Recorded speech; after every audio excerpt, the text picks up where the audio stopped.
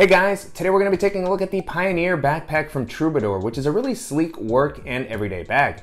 In the past, we've taken a look at a few other offerings from Troubadour, such as their Ridge backpack and the Apex Explorer, and those were really solid bags. But the aesthetic and organizational layout of this bag in particular caught my eye, so I was excited to have a chance to test it out. I've been using it for the past couple of weeks, and in this video, I'm going to be talking about my experience testing it. I'll show you how I've loaded it out, walk through the different features that it has, and I'll also talk about how this compares to some of the other similar bags that are currently on the market. Before jumping into the video, I want to thank the company for sending the bag for me to test out. And if you're new here, welcome. My name is Danny, and on this channel, we love reviewing popular travel and everyday carry gear. If you like these types of videos and you'd be interested in seeing more, please consider subscribing as it helps the channel out a lot. So with all that being said, let's go ahead and jump in. Starting off with the outside of the bag, I really like the overall aesthetic. To me, Troubadour's bags have a very kind of modern and sophisticated vibe. As I mentioned in some of the videos that I've done for them in the past, they feel to me almost like a mixture of a Bellroy and a Tumi bag. So it's, it's an aesthetic that I think is gonna work particularly well with a more professional outfit for taking into the office while still looking great for exploring a city or traveling.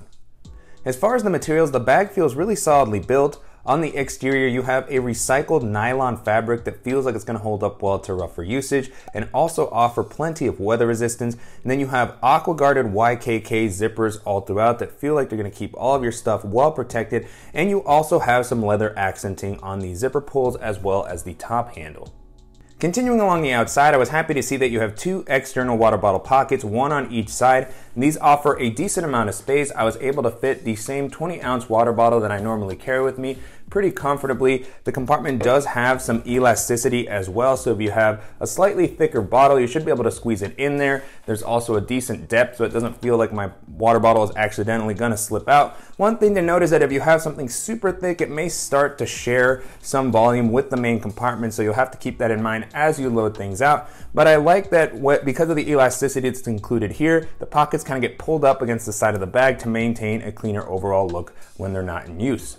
Moving into the capacity, the bag comes in at about 23 to 24 liters, which to me is a really great daily bag size.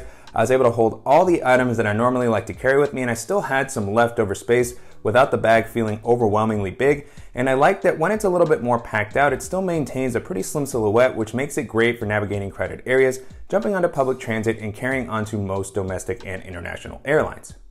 Taking a look at the straps and the back paneling, so far the bag has been really comfortable to wear. They feel like they've been improved a lot from these straps that we saw on Troubadour's Ridge backpack and their Apex Explorer. They just feel softer and more padded out of the box. They have this kind of almost gel-like padding, which feels really nice. On the inside, you don't really have a meshy material to provide that extra bit of breathability, but I haven't noticed too much moisture building up. And these straps also have a nice width to help prevent the bag from digging into your shoulders when it's a little bit more packed out. One thing to note about this bag is you do appear to have the ability to add a sternum strap. There's a little rail here that I've seen on other bags where you can attach a sternum strap. One wasn't included with the bag that I received, and honestly, with a bag of this size, that's not something that I normally think is critical to have. As far as the back paneling, this has also been really comfortable. You have plenty of padding here. It's the same soft, almost gel-like padding that we saw on the straps. And there's no meshy material here either, so it's not gonna have as much breathability as some of the other bags that we've checked out, but I do like that the padding is a little bit elevated to create these air channels to provide you with a little bit of airflow and ventilation while you're walking around throughout the day. One last note while we're on the back paneling is that it has this nice luggage pass-through here, which is gonna allow you to rest this on a suitcase while traveling to save some weight on your back. Jumping into the organizational options, the bag provides a nice variety of pockets all throughout. Starting off on the front, you have a simple Quick access pocket, I like that it has a vertically oriented zipper, which is gonna allow you to swing the bag around without taking it all the way off and be able to grab some of the essentials that you might have in here. Again, well protected zipper and a decent amount of space, no internal organization in this compartment. Uh, this is gonna be a great spot to store items such as my Kindle, which is what I currently have there. And I also tossed in a little pouch from Tom Bihn. This is my Ghost Whale pouch that has some of the other tech and EDC accessories that I always have with me. At the top of the bag, you have another quick access pocket, again with a well-protected zipper. I love these types of pockets. It's one of the ones that I use most throughout the day. Just placing the bag down next to me while I'm sitting down, I can reach down and grab some of these items. And there's a decent amount of space in this compartment. It has plenty of volume. So what I currently have here is my sunglasses with their case. I also tossed in my Magic Mouse. I have a pair of Apple AirPods, And then I also have a lightning cable and power brick to charge my phone. One thing that I really like about the inside of this compartment is that it also has a sort of softer lining to help prevent against scratching if you want to place anything a little more delicate like your glasses or a phone. And then you also have a lanyard inside of this compartment with a clip that's going to be a great spot to attach something like your keys or a multi-tool. The next thing I want to call out is that you do have external access to the laptop sleeve. The laptop sleeve isn't necessarily separate from the main compartment, so you can access it from the top, as we'll see in a second, or from the side. If you're going through TSA, if you just want to be able to get to it a little bit more quickly without opening the bag up, you have a very well protected zipper here along the side. I also like that it's a big zipper, so if you have a larger device, you should be able to get into the compartment okay. Currently what I have in here is my 13 inch MacBook Pro. You can see that there's plenty of space if you have a 15 or 16 inch laptop. Should be able to fit in there comfortably. The sleeve is pretty well padded. You have the same kind of soft material that we saw in the top quick access compartment, so it's gonna help prevent against scratching. The compartment isn't suspended off the bottom of the ground, which I would have liked to have seen. There is padding on the bottom, so when you place your bag down, it doesn't feel like your device is super exposed. But again, I always just prefer for that sleeve to be pulled up maybe a little bit. Regardless, feels like my device is safe and I can get to it very easily, so pulling the device out now with the compartment empty, you can get a better look at the inside, and so it comes up a decent amount. If you have a thicker device or you want to use a case with your laptop, it should be able to squeeze in here fairly comfortable. However, this is space that's shared with the main area of the bag, so you have to keep that in mind as you're packing everything out. But for the device that I normally carry with me, it feels like everything is going to be well protected while I'm running around. And then on the bottom, one thing that I was excited about with this bag is that you have a separate shoe compartment, which is gonna make it great for use as a gym bag. And this has another aqua guarded zipper, which is interesting because you do have this ventilation on the, on the bottom. So if you place your bag down in a puddle or something, there's some holes. So some moisture could potentially still get into the compartment, uh, but it's nice to have that ventilation. So if you place some sweaty shoes in there or even some wet clothes after the gym, the compartment's gonna be able to breathe and not get super stinky. Then you also have this sort of locking YKK zipper at the bottom. Uh, locking in the sense that when you have the, um, tab flipped down, can't really open it up. You don't have the ability to lock this compartment necessarily, uh, but it does prevent it from opening up too easily. And so getting into this shoe compartment, uh, I always like bags that have, you know, this separate area for, you know, dirty clothes or shoes like this. And this actually provides a decent amount of volume.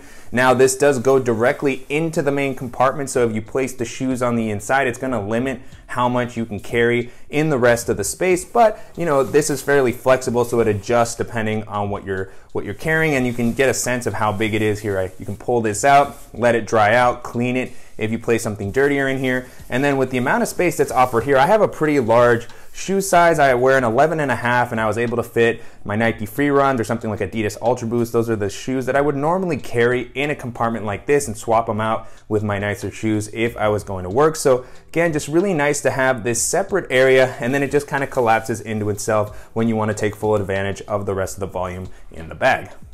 The last area that we're going to be taking a look at is the main compartment. The first thing I want to call out about this zipper is that it does have the ability to lock so if you want to have a little bit more peace of mind while you're traveling or commuting, you know, you can lock this up to make it harder to get into. And then this is a top loading bag, but the zippers go down a great amount. So you're gonna have plenty of visibility into the main compartment. This flap is gonna come down uh, so not quite clamshell style, but still you have plenty of visibility to everything that you might want to be able to get to. And the way that this main area is laid out, it's still going to be able to handle some bulkier items fairly well. It's not a huge compartment, but I was able to fit all the items that I normally like to carry with me, especially when I didn't have a pair of shoes on the inside. I had a little bit of additional space for other larger, bulkier items. So diving into what I have here, first up are my Beats Studio wireless headphones with their hard shell case. I also have the Aer Slim pouch, which is one of my favorite tech and EDC pouches. It doesn't take up a lot of room, but it can hold an impressive amount of stuff. Then down at the bottom, I have my DJI Mavic Mini with its hard shell case. I also have a full-size moleskin notebook. And then the last thing I have in here is my Levit8 portable standing desk. Now with the compartment empty, you can get a better look at the inside. And so again, I like how much this comes up. It's gonna make it good for handling bulkier items or shoes. If you use the shoe compartment here, you can get another view of just how far that comes into this area. And then although this is a little bit smaller than what I would normally use for a travel bag, it does give you enough flexibility if you wanna toss in a packing cube to use this for a shorter weekend trip. Should be able to work in that use case. And then on the inside, you have a decent amount of organization uh, for you know being able to easily reach whatever you need to throughout the day. So on the flap, you have two mesh zippered compartments. I like the mesh that's used here as you can see what's inside of the compartment easily. And so on this top one, I just have the USB-C cable that goes with uh, my iPad and its power brick. But again, plenty of space, maybe for other tech accessories or medicines or anything like that. And then below that, another compartment. It's slightly larger than the one at the top, but again, plenty of volume for you know simple items. In this one, I have just a deck of cards, and then I also have my little manicure set that I always like to have with me. And then on the back of the compartment, you have some more just kind of slip pockets that are gonna be great for smaller accessories that you don't want getting lost in the bottom of the bag. So down at the front, the first ones that we have here are almost elastic. They have a, a little bit of a stretchier material. I don't know if you can get a good enough view into that. So this might be a good spot to put something like your phone. In my case, I just have a little tin with some band-aids and ointments. And then next to that, I have a smaller slot, which is gonna be great for a pen. The pen that I'm currently using is this Bolt Action pen from the Ridge. I've bought into the hype on bolt action pens. They are very fun and fidgety. And then behind that, you have two pretty deep slip pockets, which are gonna be great for taller accessories. So in this one here on the left, I have a portable battery that has a wireless charger, also from the Ridge. And then next to that, a similarly sized compartment. I don't currently have anything in there at the moment, but it might be a good spot to place something like your mouse or a portable hard drive or something like that. Behind that, I have a zippered compartment, which is you know pretty simple. It doesn't have a ton of space or organization, but it might be a good spot to hold something flatter. In my case, I actually placed my iPad mini in there. It fit very comfortably. You could probably also fit a Kindle, a notebook, or just other items that you don't want getting kind of lost in here. This is a little bit pulled up off the bottom as well. And then on the back, you can get a better view at the laptop sleeve that we saw earlier. So if you're traveling, you pull this out from under the seat, you wanna reach in from the top. Sometimes that's a little bit more convenient, so I like the flexibility that this layout provides. You can see again on the back, that softer material, plenty of space. And so just a really nice organizational layout and space offered in this main area and throughout the rest of the bag. It's very well thought out. And if you're looking for a professionally styled bag that's gonna be able to handle some of your gym clothes, tech essentials, and just be a great day-to-day -day bag, then this is gonna be a fantastic option to check out. And so to wrap up, it's been a great experience testing out the Pioneer backpack over the past couple of weeks. You can currently purchase this on the company site for about $275, so it's definitely a bit of an investment. The bag is very well built, it uses some pretty premium materials, and it feels like it's gonna hold up well over the longer term. However, there's also gonna be some other great options in this price range that may be worth considering. And so as I was testing this out, the first bag this made me think of was another one of Troubadour's offerings, the Ridge backpack, which I really enjoyed using a while back. That one has the same kind of modern and sophisticated aesthetic that this bag has, similar materials, just has kind of a different organizational layout. It almost feels a little bit more traditional. You have nice external pockets, a big main area, separate laptop sleeve. Uh, so just a really well laid out bag. It was able to hold an impressive amount of stuff. It's similar in size. Um, you know, it looks great with a suit or a more professional outfit. So if you like Troubadour's aesthetic and build quality, and you want a bag that's gonna offer maybe a little bit of a different organizational layout, then that's gonna be a great option to consider. The next bags that came to mind as I was testing this out were the Aer Fit Pack 3 and the Duffel Pack 3, which are both part of their active collection and just really solid tech and gym bag hybrids.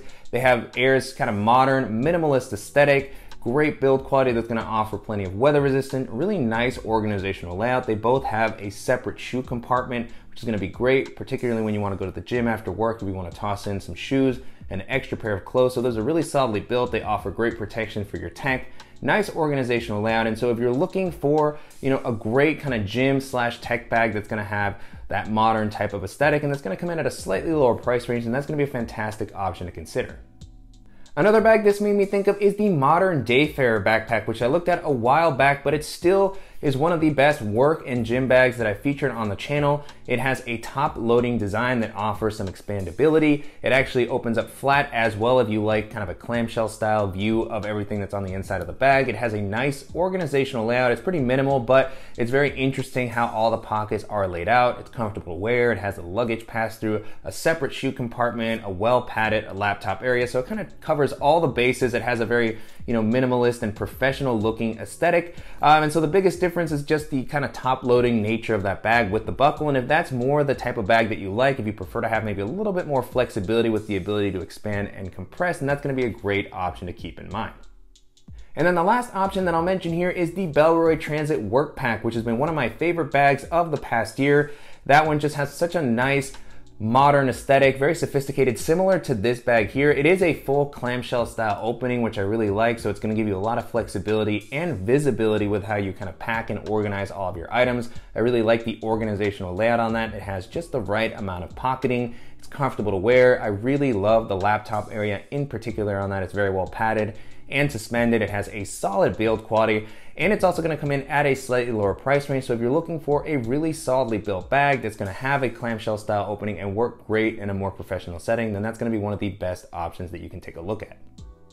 With that being said, the Troubadour Pioneer backpack holds up really well against all those options. And if you're looking for a durable and sophisticated bag that's gonna look great with a suit and in a professional environment and you have a little bit of a higher budget, then this is gonna be a great option to consider. And I'm definitely curious to hear what you all think of the Pioneer backpack and how it compares to some of the other great kind of tech and everyday bags that we featured on the channel in the past. And if there are any similar options that you think I should check out, as always, please let me know in the comments. And I want to thank the company again for sending the bag for me to test out, and to you guys for watching and supporting the channel. If you enjoyed this video, please give us a like, and if you haven't already, make sure to subscribe so you don't miss any upcoming videos, and we'll see you in the next one.